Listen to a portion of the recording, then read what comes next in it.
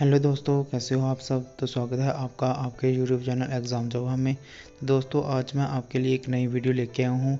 ये वीडियो आपके लिए जो अप्रेंटिस भर्ती के बारे में आपको इस वीडियो में बताऊँगा कि क्या क्या इसमें एलिजिबिलिटी मांगी गई है, क्या इसकी एज लिमिट है और क्या इसकी फ़ीस क्राइटेरिया है। तो अगर आप इससे पहले इस चैनल पर नए आए हैं तो प्लीज़ इस चैनल को लाइक कीजिए शेयर कीजिए और सब्सक्राइब करके बेल आइकन को प्रेस करके ऑल पे सेट कर दीजिए। तो चलिए वीडियो को शुरू करते हैं।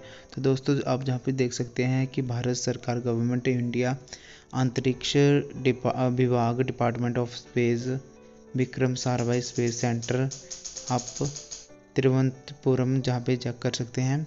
तो जहाँ पे इस भर्ती का जहाँ पे ये नोटिफिकेशन कोड है तो आप जहाँ पे चेक कर सकते हैं कि चौबीस तीन दो हज़ार बाईस को जो भर्ती सूचना जो जारी की गई थी तो इसमें आपको ऑफलाइन फॉर्म जो फिलअप करना होगा तो कैसे फॉर्म को फिलअप करना होगा, वो भी मैं इस वीडियो में आपको बताने वाला हूँ। तो उससे पहले आप इस वीडियो में तो जान लीजिए कि कौन कौन सी पोस्ट निकली है और कौन कौन से ट्रेड में निकली है और कितनी कितनी यहाँ पे वैकेंसी आई है और एलिजिबिलिटी क्राइटेरिया और स्टाइपेंड पर मंथ आपका क्या होने वाला है।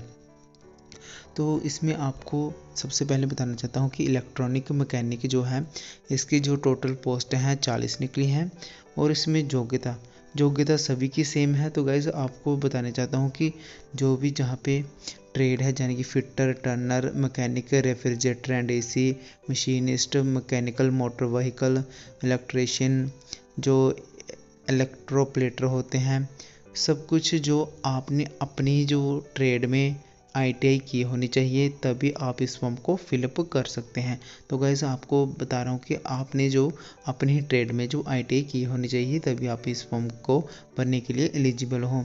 तो आपको पर मंथ स्टाइपेंड कितना मिलेगा? आई वालों के लिए पर मंथ स्टाइपेंड आप जहाँ पे चेक कर सकते हैं कि आठ हज़ार पचास रुपये आपको जहाँ पे प्रतिमाह जो आपका स्टाइपेंड मिलने वाला है।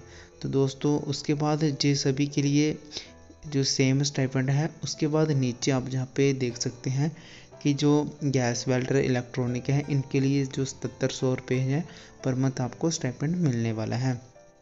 उसके बाद फाउंड्री मैन प्लम्बर जैसे सभी को आप चेक कर सकते हैं और एक साल के लिए आपके जहाँ पे अप्रेंटिस लगने वाली है। उसके बाद ड्राफ्ट मैन मैकेनिकल की आप जहाँ पे देख सकते हैं, उसकी भी जो स्टाइपेंड है, आठ हज़ार पाँच पचास रुपये उसकी, जो जहाँ पे तनख्वाह होने वाली है। उसके बाद जो पंद्रह नंबर जो आप देख सकते हैं, जो पोस्ट है, ये पोस्ट आई है लैब असिस्टेंट की।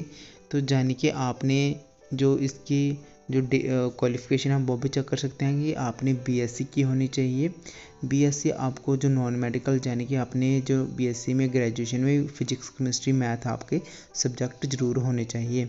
तो इसमें आपको स्टाइपेंड सबसे ज़्यादा मिलता है, नौ हज़ार इसमें जो स्टाइपेंड मिलने वाला है। तो दोस्तों, इन सभी को आप चेक करने के बाद आगे आपको इसकी और बातें इस वीडियो में बताने वाला हूँ कि क्या क्या इंस्ट्रक्शन होने वाली है। तो आपको पहले भी मैंने बता दिया था कि एक साल के लिए जहाँ पे अप्रेंटिस लगने वाली है तो आप एक साल के लिए जहाँ पे अप्रेंटिस कर सकते हैं। उसके बाद आप इनकी और कंडीशन को चेक कर सकते हैं। केवल ए वे अभ्यर्थी ही जो इस फॉर्म को भरे, जो पास हैं। जो पास आउट स्टूडेंट हैं, वही इस फॉर्म को फिलअप कर सकते हैं। जो अपेयरिंग स्टूडेंट है, वो इस फॉर्म को फिलअप नहीं कर सकते। उसके बाद आपने जो आईटीआई है, जहाँ पे लिखा है कि कैंडिडेट हु प्रोसेस आई जो है नेशनल जो काउंसिल जो वोकेशनल ट्रेनिंग होती है, उससे की होनी चाहिए एनसीबीटी से तो जहाँ पे जो आपकी जहाँ पे लिखा कि दो टाइप की जो आपकी आईटीआई ट्रेनिंग जो करवाते हैं N C B T S C B T तो जहाँ पे एन सी बी टी वालों के लिए जहाँ पे मान्यता प्राप्त, उनके लिए ये फॉर्म एलिजिबल होगा एस सी बी टी के लिए ये फॉर्म फिलअप नहीं कर पाएँगे ये जहाँ पे साफ़ साफ़ लिखा है। उस, और उसके बाद नाइन्थ नंबर पे हम जहाँ पे आ जाते हैं तो इसमें इम्पोर्टेंट ये है कि अब देख सकते हैं कि आपकी जो एज है इकतीस तीन दो हज़ार बाईस को आपकी एज जो तीस वर्ष तक होनी चाहिए, यानी कि आपकी जो तीस वर्ष तक आपकी आयु सीमा होनी चाहिए, उसके नीचे आपकी आयु जहाँ पे मेरे को लगता है कि आपको अठारह से बीस साल तक आपकी आयु जो शुरू होनी चाहिए।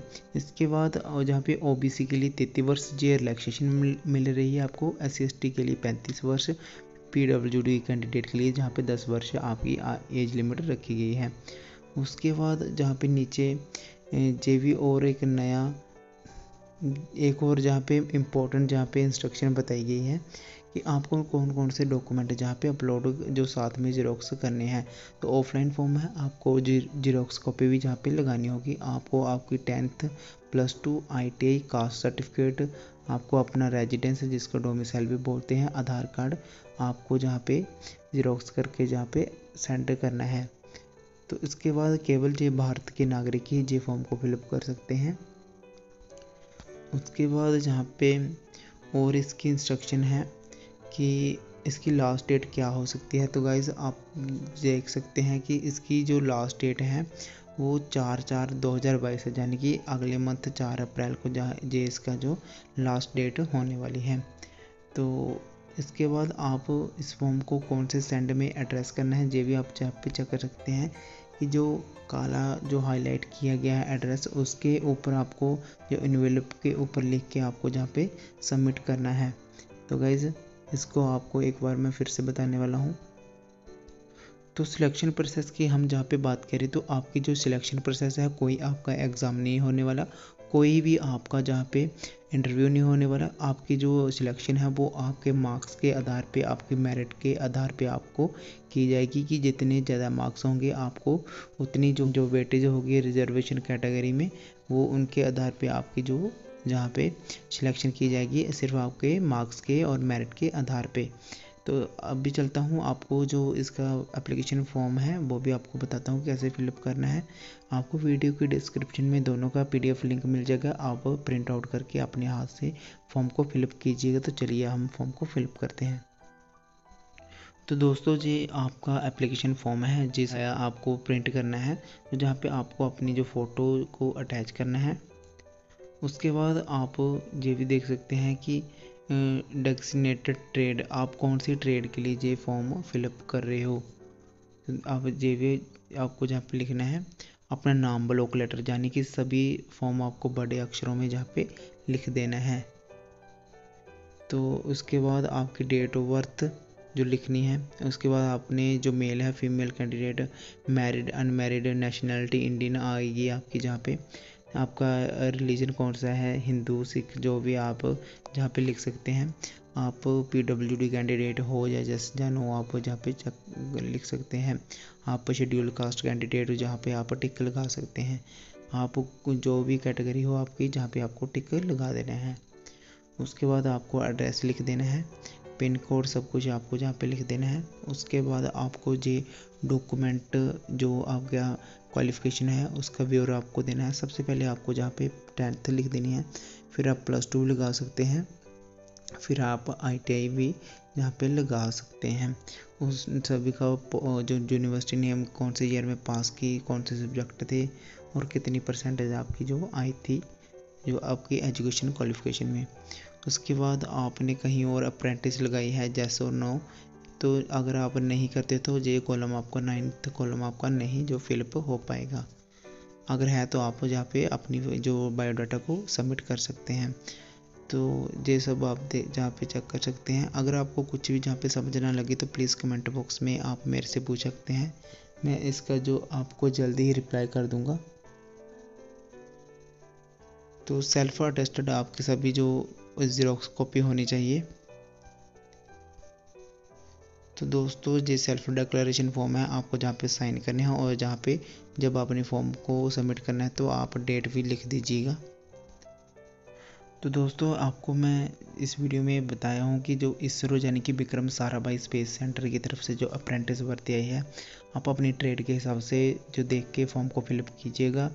एप्लीकेशन फ़ीस की बात करें तो किसी भी कैंडिडेट से कोई भी जहाँ पे फ़ीस नहीं ली जाएगी, आप ऑफलाइन फॉर्म इसको फिलअप करना है। लास्ट डेट है आपकी चार अप्रैल तो इसमें कोई आपका एग्ज़ाम नहीं होने वाला तो सीधा आपके मेरिट के आधार पे ही आपको जहाँ पे सिलेक्ट किया जाएगा। तो जो आपने सेंड करना है एड्रेस पे इनवेलप के बाहर आपको जो एड्रेस लिख देना है और सेंड कर देना है।